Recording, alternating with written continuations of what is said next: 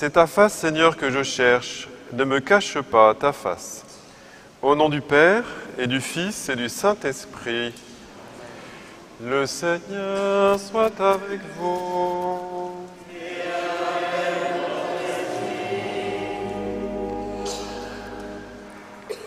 Frères et sœurs, préparons-nous à célébrer le mystère de l'Eucharistie en reconnaissant que nous avons péché.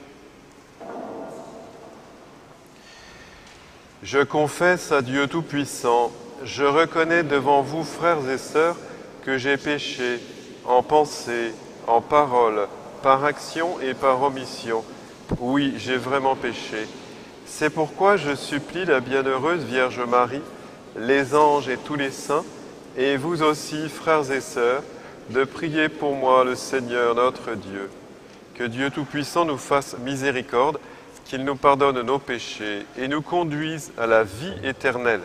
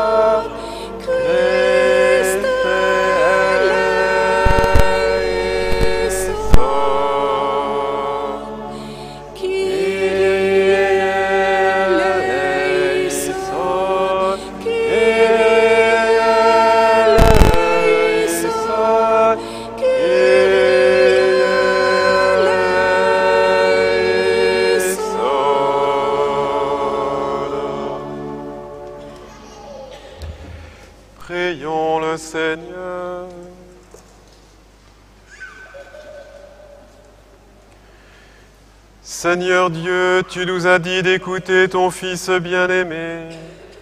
Fais-nous trouver dans ta parole la nourriture de notre vie spirituelle, afin que d'un regard purifié nous ayons la joie de contempler ta gloire.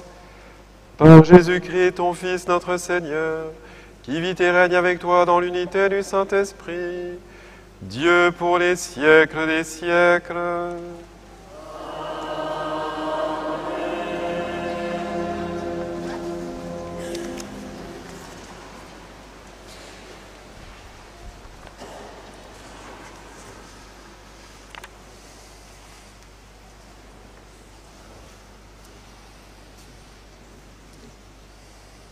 Lecture du livre de la Genèse.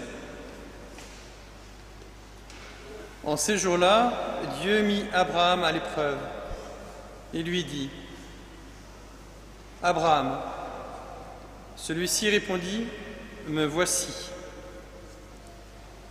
Dieu dit, Prends ton fils, ton unique, celui que tu aimes, Isaac. Va au pays de Moria et là tu l'offriras en holocauste sur la montagne que je t'indiquerai. Ils arrivèrent à l'endroit que Dieu avait indiqué. Abraham y bâtit l'autel et disposa le bois. Puis il lia son fils Isaac et le mit sur l'autel par-dessus le bois. Abraham étendit la main et saisit le couteau pour immoler son fils. Mais l'ange du Seigneur l'appela du haut du ciel et dit, Abraham, Abraham, il répondit, Me voici. L'ange lui dit, Ne porte pas la main sur le garçon, ne lui fais aucun mal.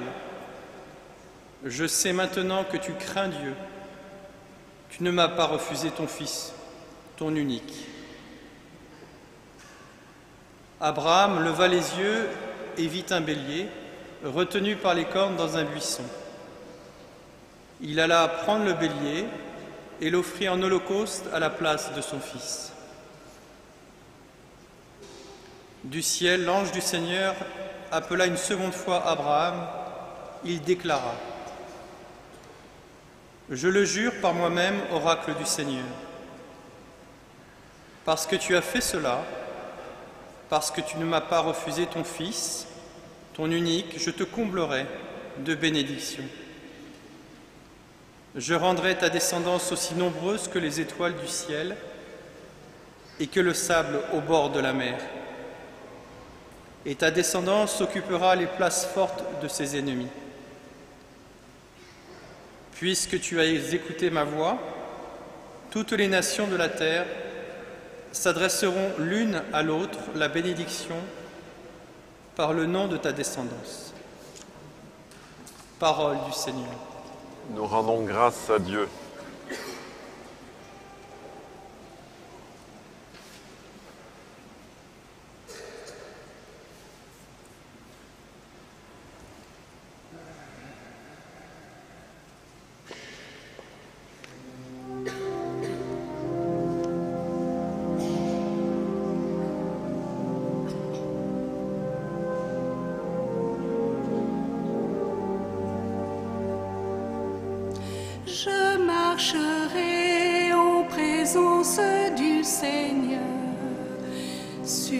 Sur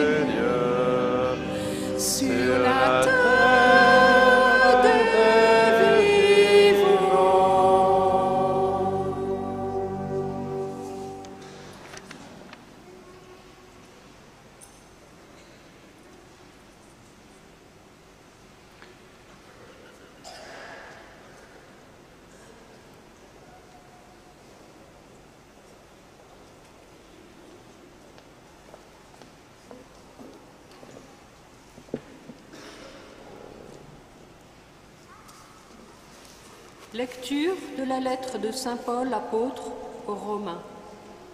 Frères, si Dieu est pour nous, qui sera contre nous? Il n'a pas épargné son propre Fils, mais il l'a livré pour nous tous. Comment pourrait-il, avec lui, ne pas nous donner tout? Qui accusera ceux que Dieu a choisis? Dieu est celui qui rend juste. Alors, qui pourra condamner? Le Christ Jésus est mort. Bien plus, il est ressuscité. Il est à la droite de Dieu. Il intercède pour nous. Parole du Seigneur.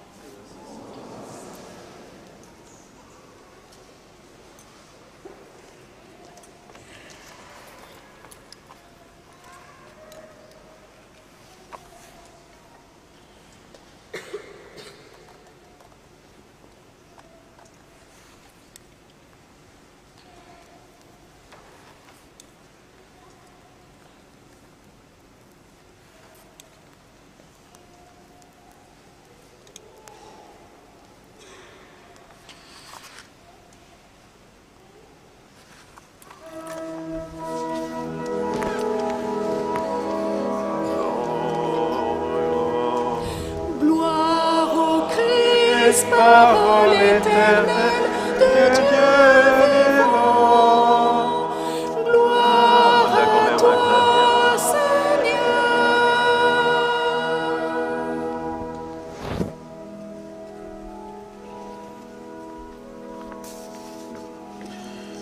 De la nuée lumineuse, la voix du Père a retenti. Celui-ci est mon Fils bien-aimé. Écoutez-le. Parole éternelle de Dieu. Gloire.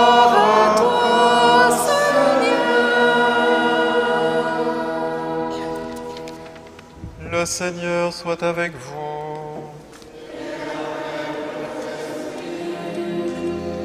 Évangile de Jésus-Christ selon saint Marc.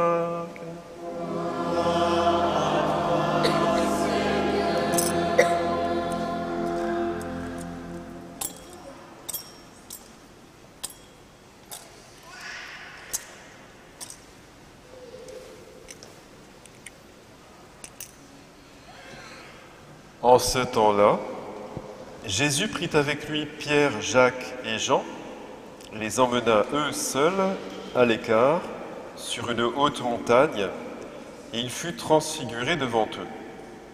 Ses vêtements devinrent resplendissants, d'une blancheur telle que personne sur terre ne peut obtenir une blancheur pareille. Élie leur apparut avec Moïse, et tous deux s'entretenaient avec Jésus.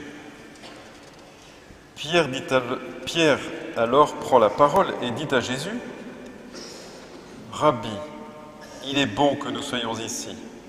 Dressons donc trois tentes, une pour toi, une pour Moïse et une pour Élie. De fait, Pierre ne savait que dire, tant leur frayeur était grande. Survint une nuée qui les couvrit de son ombre, et de la nuée une voix se fit entendre, Celui-ci est mon fils bien-aimé, écoutez-le. Soudain, regardant tout autour, ils ne virent plus que Jésus seul avec eux. Ils descendirent de la montagne, et Jésus leur ordonna de ne raconter à personne ce qu'ils avaient vu, avant que le Fils de l'homme soit ressuscité d'entre les morts. Et ils restèrent fermement attachés à cette parole, tout en se demandant entre eux ce que voulait dire ressuscité d'entre les morts. Acclamons la parole de Dieu.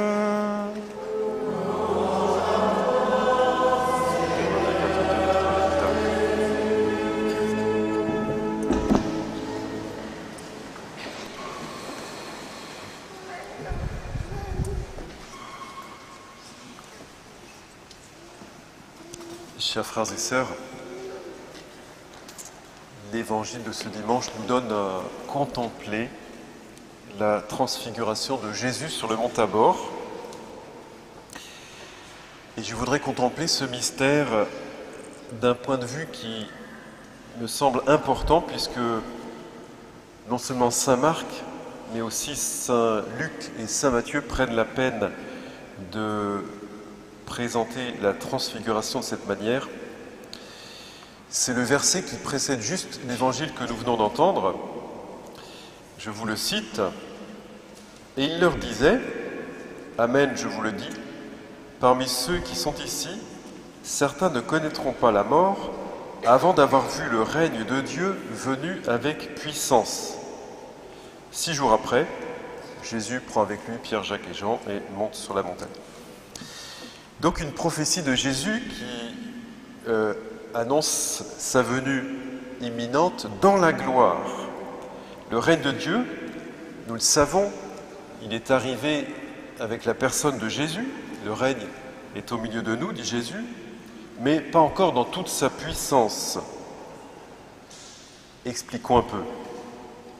Tandis que Jésus était au milieu de ses disciples, il leur avait bien sûr euh, parlé de son règne en long et en large et de son deuxième avènement dans la gloire, mais peut-être parce que euh, ce n'était pas suffisamment certain à leurs yeux, eh bien Jésus a voulu qu'ils en soient fermement convaincus. Et c'est pourquoi dans la transfiguration, eh il se manifeste à eux d'une manière euh, merveilleuse, une manifestation divine, qui est euh, une image, une préfiguration du royaume des cieux. Le but, c'est que cette expérience les aide à croire aux événements futurs qu'il leur annonce, pour que l'attente, si elle doit durer un peu, eh bien, euh, ne finisse pas par engendrer l'incrédulité. Et donc il leur dit très solennellement, Amen, je vous le dis, il y en a parmi vous qui verront mon règne dans sa puissance avant de mourir. Et Saint, euh, Pierre, dans sa deuxième lettre, pour euh, poser l'autorité avec laquelle il parle au nom de Dieu, bien rapporte euh, ce souvenir justement, ce qu'il a vu ce jour-là sur la montagne, aujourd'hui on dirait avec des étoiles dans les yeux. En effet, ce n'est pas en ayant recours à des récits imaginaires sophistiqués que nous, vous avons fait connaître la puissance et la venue de notre Seigneur Jésus-Christ, mais c'est pour avoir été les témoins oculaires de sa grandeur, car il a reçu de Dieu le Père l'honneur et la gloire, quand, depuis la gloire magnifique, lui parvint une voix qui disait Celui-ci est mon Fils, mon bien-aimé, en lui j'ai toute ma joie. Cette voix venant du ciel, nous l'avons nous-mêmes entendue quand nous étions avec lui sur la montagne sainte. Pour euh, la communauté chrétienne primitive et les apôtres, la transfiguration est déjà une anticipation de la venue de Jésus dans la gloire. Et en effet, on voit que, en, regardant un petit peu attentivement le récit de la transfiguration, c'est un événement surnaturel hors du commun.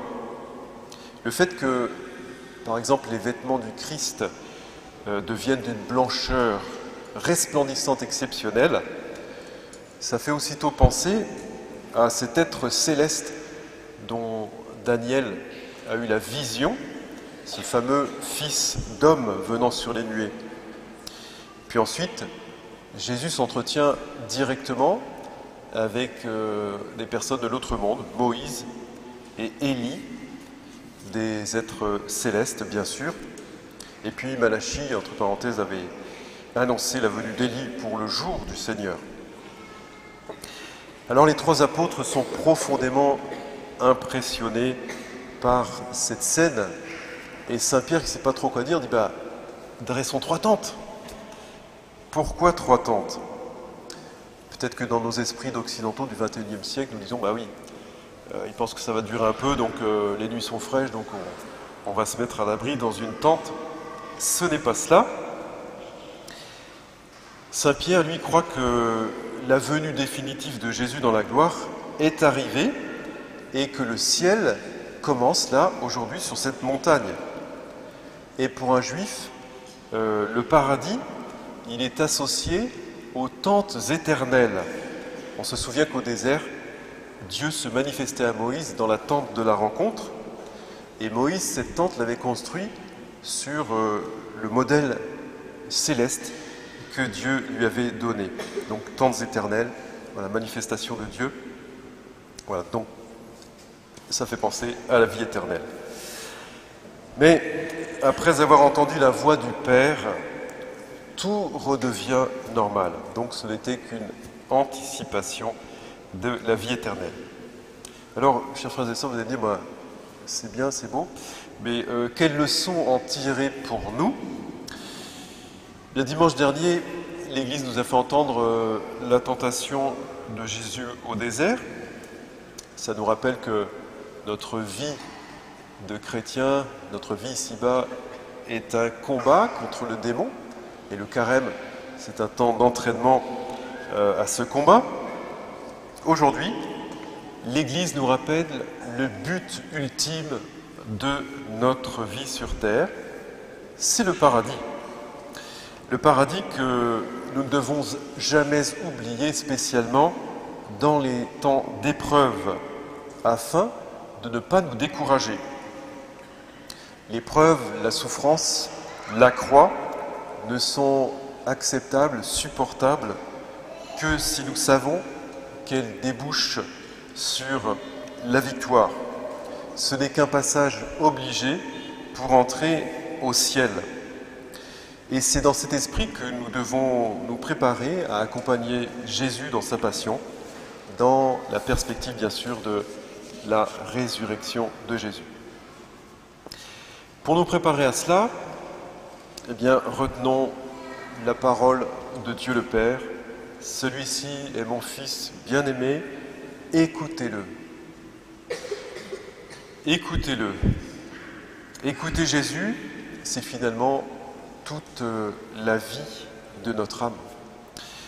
Alors posons-nous la question, est-ce que pendant ce, temps de, début de carême que nous venons déjà de passer, est-ce que nous avons donné suffisamment de temps au silence, à la prière, pour être à l'écoute de Jésus Voilà, demandons au Seigneur la grâce d'être affermis dans notre foi en la résurrection bienheureuse qui nous attend après les épreuves de cette vie. Amen.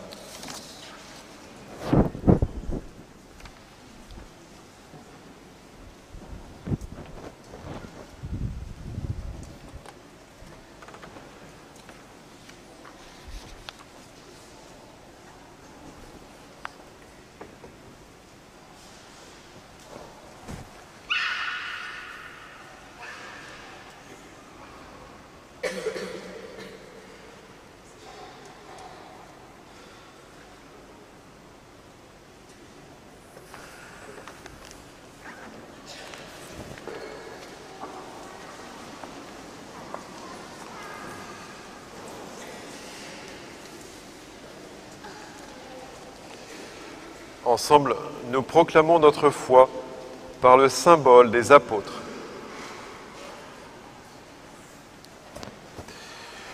Je crois en Dieu, le Père Tout-Puissant, Créateur du ciel et de la terre, et en Jésus-Christ, son Fils unique, notre Seigneur, qui a été conçu du Saint-Esprit, est né de la Vierge Marie, a souffert sous Ponce Pilate, a été crucifié, est mort et a été enseveli est descendu aux enfers. Le troisième jour est ressuscité des morts, est monté aux cieux, est assis à la droite de Dieu le Père Tout-Puissant, d'où il viendra juger les vivants et les morts. Je crois en l'Esprit Saint, à la Sainte Église catholique, à la communion des saints, à la rémission des péchés, à la résurrection de la chair, à la vie éternelle. Amen. Auprès de son Père, le Christ intercède pour tous les hommes de ce temps. Confions-lui tous les habitants du monde, spécialement ceux qui peinent et qui souffrent.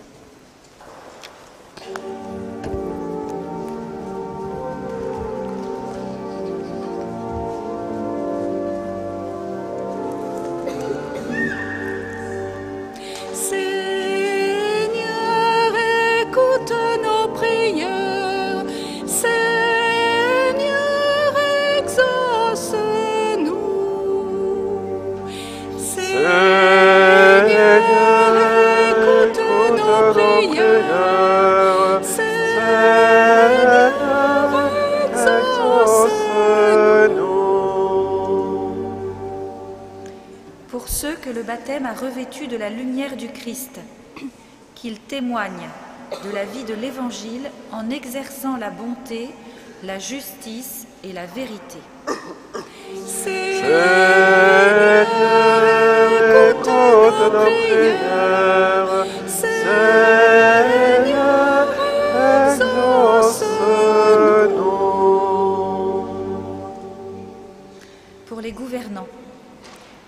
Qu'ils participent à libérer les peuples de toute forme de servitude.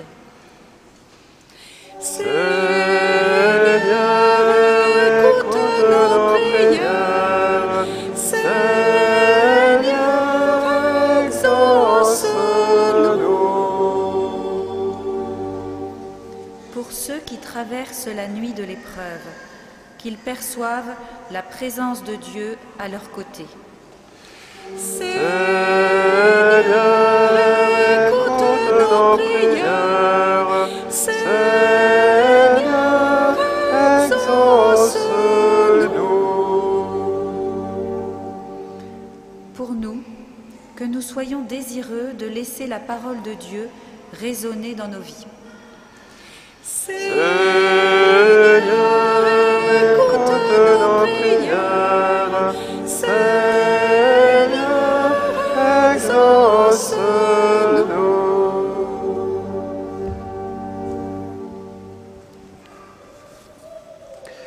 Encore pour Annick Giraud, Anne Roumejoux, qui nous ont quittés cette semaine.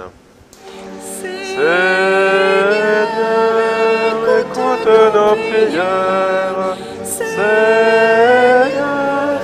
exauce-nous. Seigneur Jésus-Christ, viens au secours de ton peuple qui espère en ta miséricorde. Daigne écouter toutes nos prières, toi qui vis et règnes pour les siècles des siècles.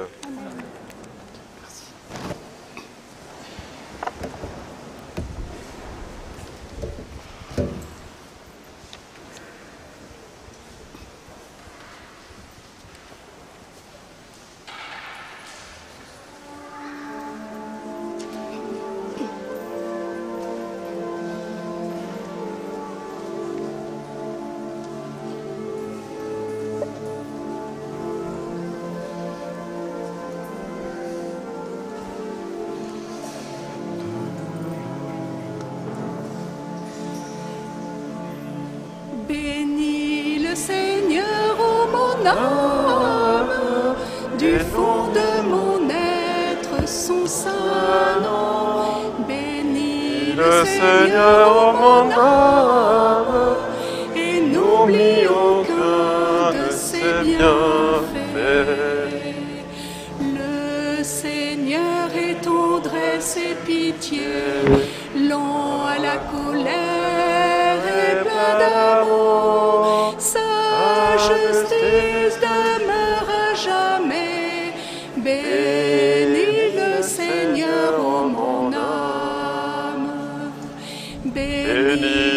Bénis le Seigneur,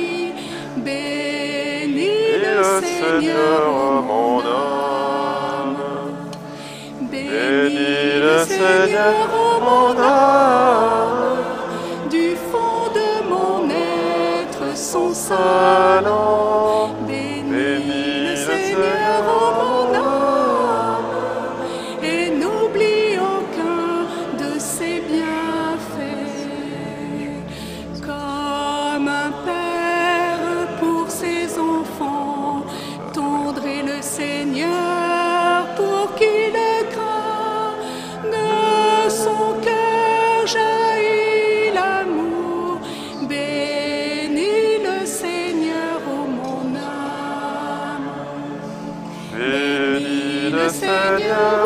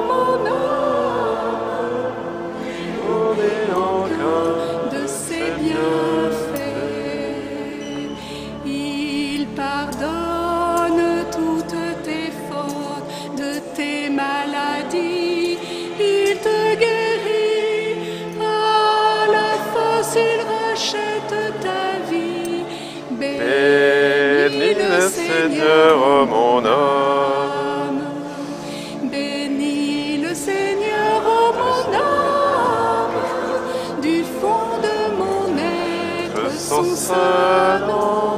Bénis le Seigneur, ô mon âme, et n'oublie aucun de ses bienfaits.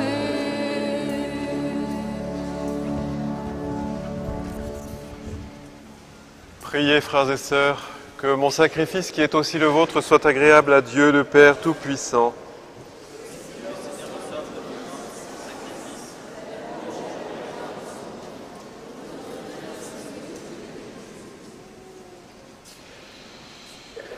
Que cette offrande, nous t'en prions Seigneur, nous purifie de nos péchés, qu'elle sanctifie le corps et l'esprit de tes fidèles, pour les préparer à célébrer les fêtes pascales par le Christ notre Seigneur.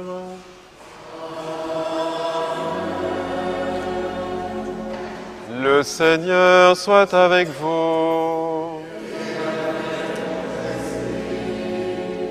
Élevons notre cœur. Rendons grâce au Seigneur notre Dieu.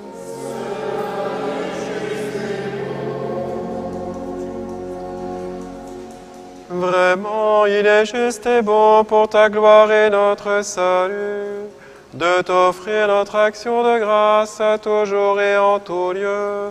Seigneur, Père très saint, Dieu éternel et tout-puissant par le Christ notre Seigneur.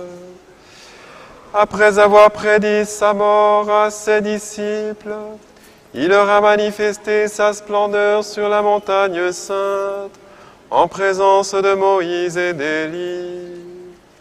Ainsi la loi et les prophètes témoignaient qu'il parviendrait par la passion jusqu'à la gloire de la résurrection. C'est pourquoi avec les puissances des cieux, nous pouvons te bénir sur la terre et t'adorer sans fin en proclamant.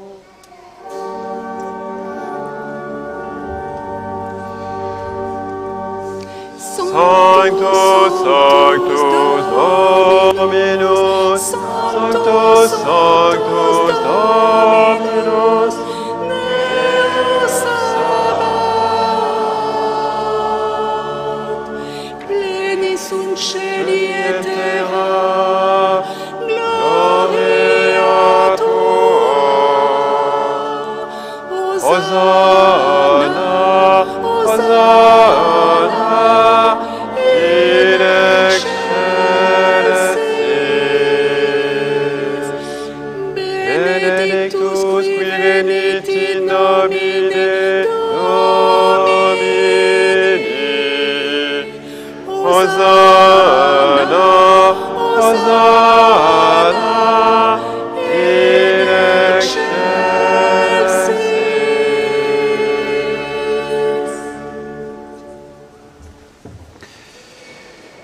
Toi, Père très aimant, nous te prions et te supplions par Jésus-Christ, ton Fils, notre Seigneur, d'accepter et de bénir ces dons, ces offrandes, sacrifices purs et saints que nous te présentons avant tout pour ta sainte Église catholique. Accorde-lui la paix rassemble, euh, et daigne la rassembler dans l'unité et la gouverner par toute la terre. Nous les présentons en union avec ton serviteur, notre pape François, notre évêque Marc et tous ceux qui gardent fidèlement la foi catholique reçue des apôtres. Souviens-toi, Seigneur, de tes serviteurs et de tes servantes, et de tous ceux qui sont ici réunis, dont tu connais la foi et l'attachement.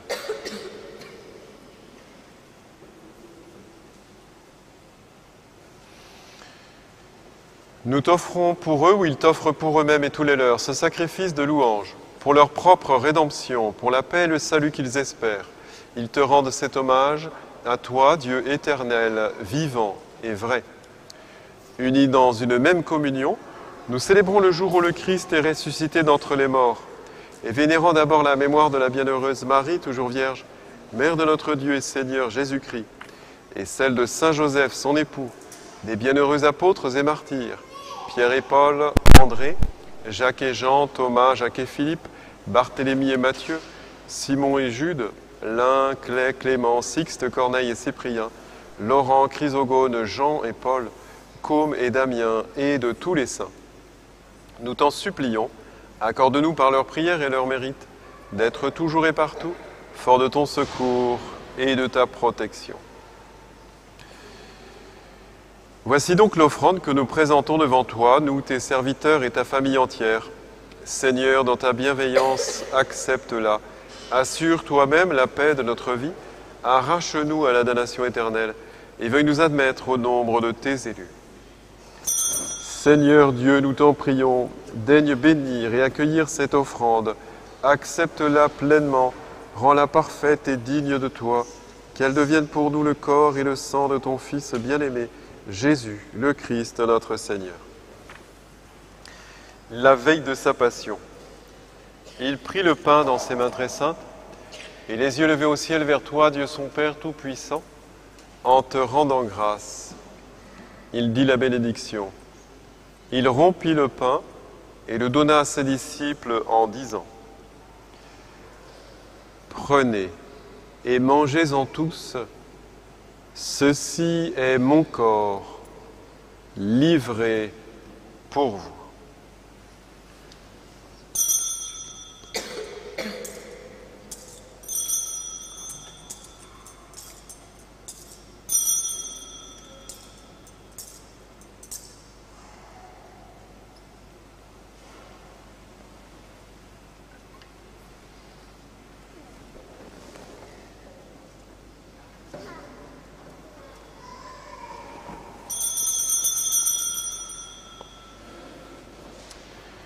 De même, après le repas, il prit cette coupe incomparable dans ses mains très saintes, et te rendant grâce à nouveau, il dit la bénédiction et donna la coupe à ses disciples en disant, Prenez et buvez-en tous, car ceci est la coupe de mon sang, le sang de l'alliance nouvelle et éternelle, qui sera versé pour vous et pour la multitude en rémission des péchés.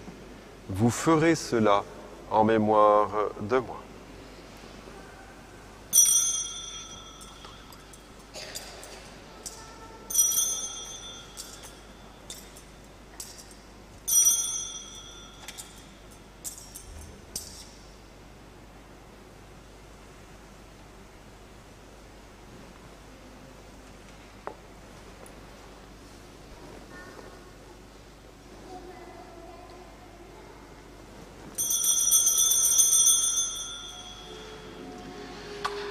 Il est grand le mystère de la foi.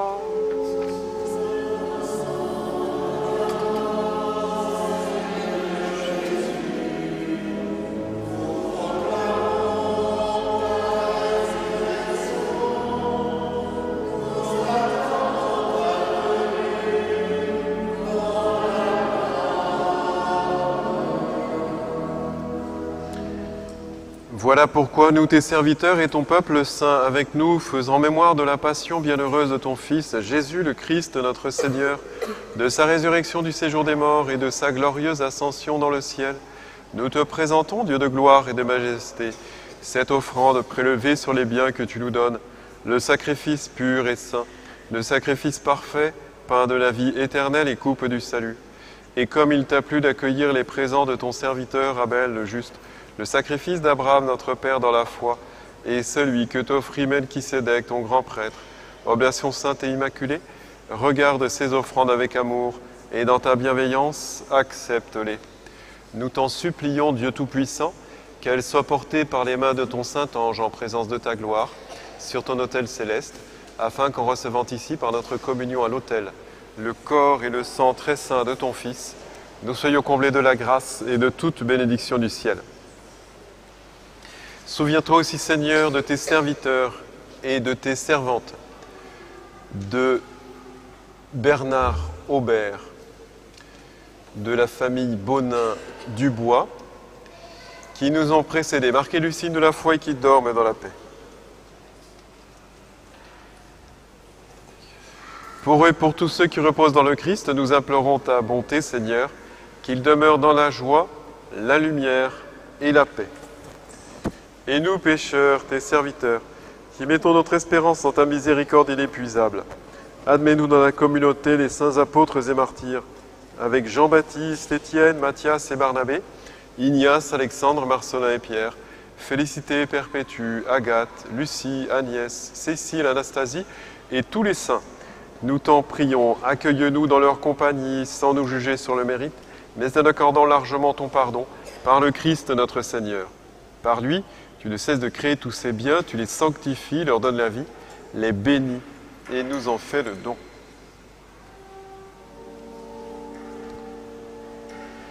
Par lui, avec lui et en lui, à toi Dieu le Père Tout-Puissant, dans l'unité du Saint-Esprit, tout honneur et toute gloire pour les siècles des siècles.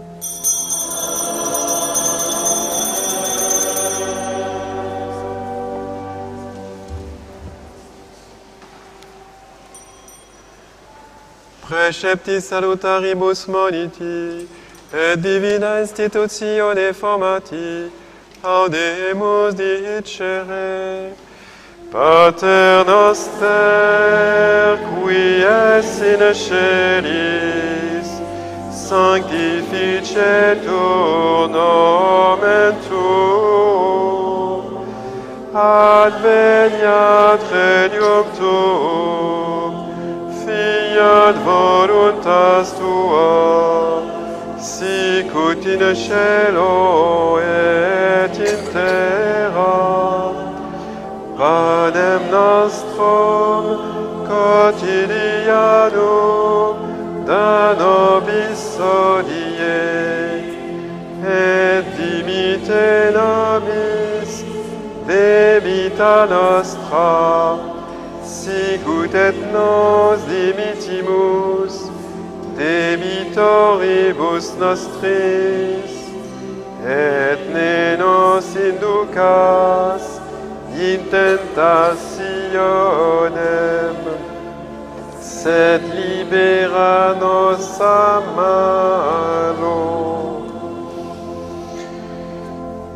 Délivre-nous de tout mal, Seigneur, et donne la paix à notre temps. Soutenus par ta miséricorde, nous serons libérés de tout péché, à l'abri de toute épreuve, nous qui attendons que se réalise cette bienheureuse espérance, l'avènement de Jésus-Christ notre Sauveur.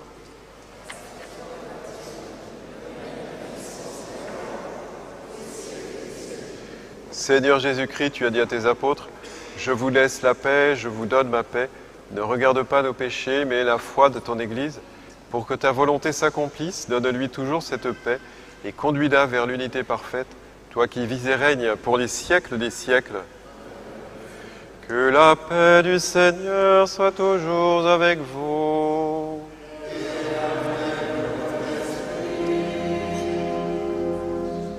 Je vais donner la paix du Christ aux servants de l'Assemblée qui vont vous la transmettre à leur tour.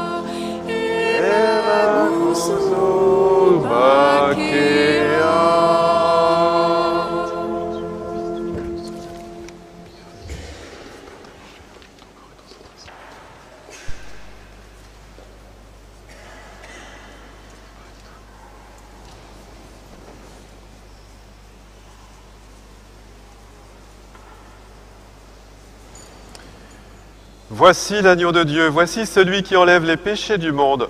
Heureux les invités au repas des noces de l'agneau. Seigneur, je ne suis pas digne de te recevoir, mais dis seulement une parole et je serai guéri.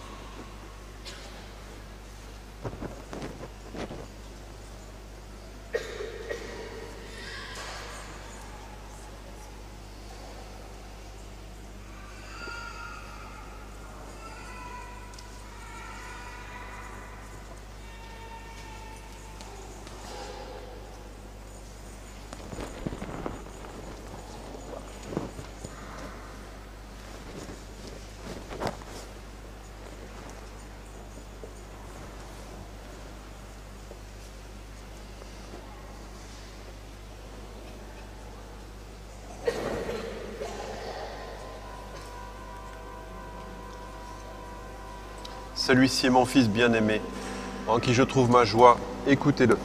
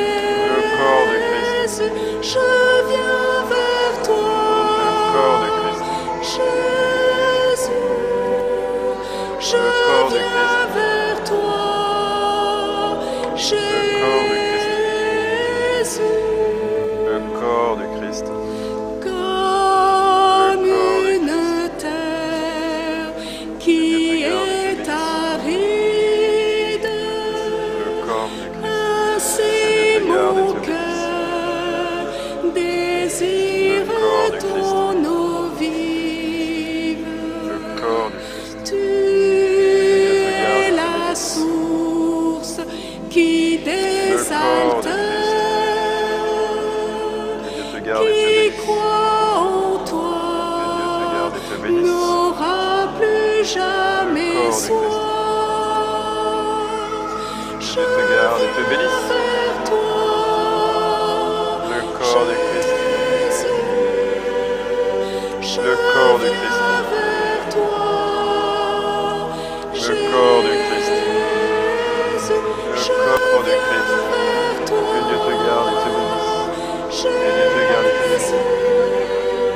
ta première communion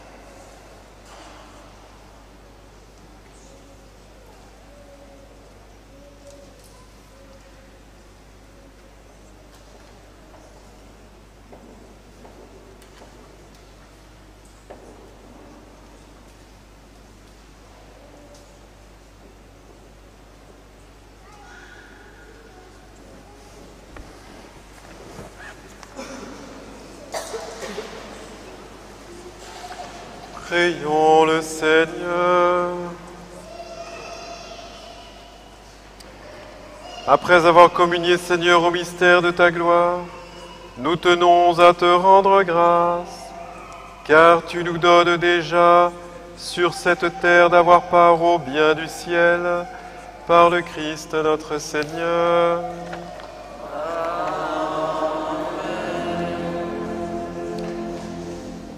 Je vous invite à prendre la prière pour les vocations de l'abbé Henri Lafourcade, un prêtre du diocèse. L'évêque nous a invités à réciter cette prière tout au long de l'année de la foi et de l'appel. Ensemble. Seigneur, donne-nous des prêtres. Lance ton appel au long des routes, dans les foyers où ton nom est béni. Des enfants répondront, remplis de ta lumière, dans un oui d'abandon à ta main de tendresse. Donne-nous des prêtres dont l'âme soit de feu, qui sauront ranimer ceux qui n'en peuvent plus. Des prêtres qui chaque matin éveillent l'aurore et font chanter l'espérance, dont la jeunesse de cœur, toujours renouvelée au souffle de l'esprit, entraînera les cœurs découragés. Des prêtres qui diront le pardon qui relève, dont les mains s'ouvrent pour accueillir toute souffrance, dans un monde qui ne connaît pas assez la force de la foi et la douceur de Dieu. Que viennent des foyers où la vie est aimée et où sera entendu ton appel, Seigneur. Amen.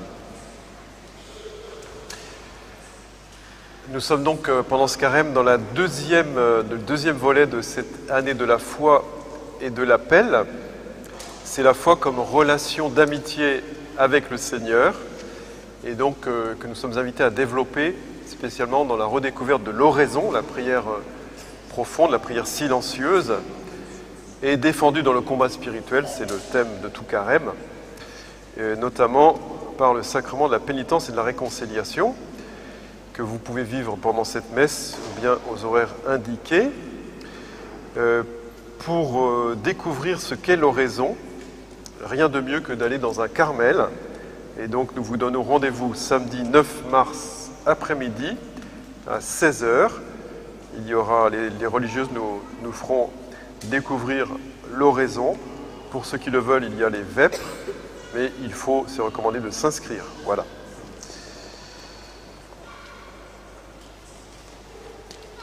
Couple parrain, pourquoi pas vous Les fiancés qui se préparent cette année au mariage eh bien, sont accompagnés par des couples euh, parrains. Donc euh, ça peut être une belle manière de, de revigorer euh, son sacrement de mariage que d'accompagner des jeunes qui se préparent au mariage eux-mêmes. Voilà.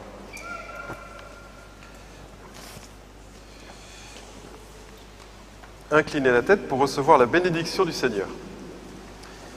Seigneur, ne cesse pas de répandre ta bénédiction sur tes fidèles et donne-leur de s'attacher à l'évangile de ton Fils unique. Alors ils auront la force de tendre sans relâche vers la gloire, dont il manifesta le rayonnement à ses apôtres, et d'y parvenir eux-mêmes pour leur bonheur, par le Christ notre Seigneur.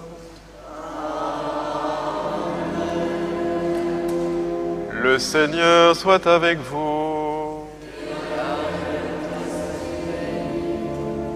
Et que Dieu Tout-Puissant vous bénisse, le Père, le Fils et le Saint-Esprit. Allez dans la paix du Christ.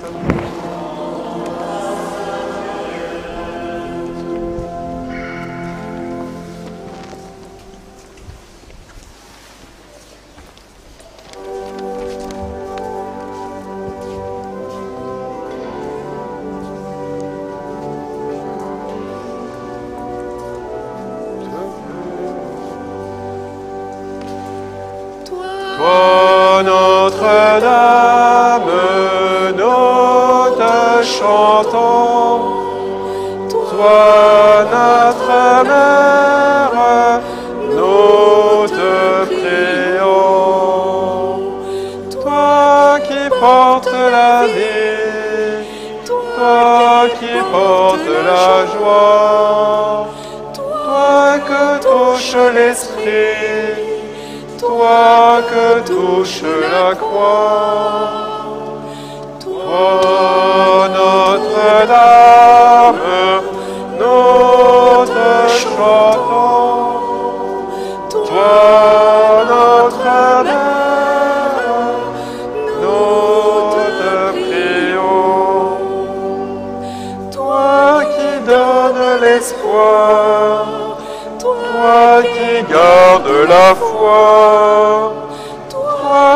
Qui passes la mort, toi debout dans la joie,